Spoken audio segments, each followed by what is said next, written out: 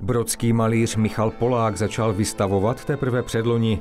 On sám nepočítá společné studentské výstavy na Hradišťské střední umělecko-průmyslové škole a tak premiérově jeho obrazy viděli v Bílovci u Fulneku.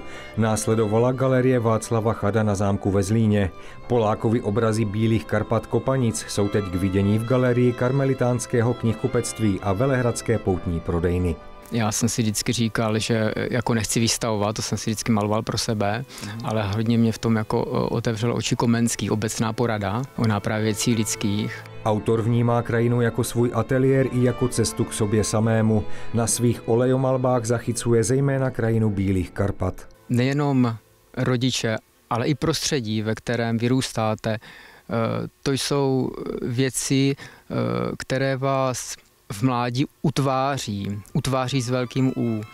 Pokud cítíte pak, jaký má krajina pro vás význam, v mém případě jsou to Bílé Karpaty, tak tím se váš vztah prohlubuje. Při pohledu na Polákovi obrazy jakoby zněla muzika. Podle něj mají hudba a malířství rozdílný kořen z totožného stromu umění.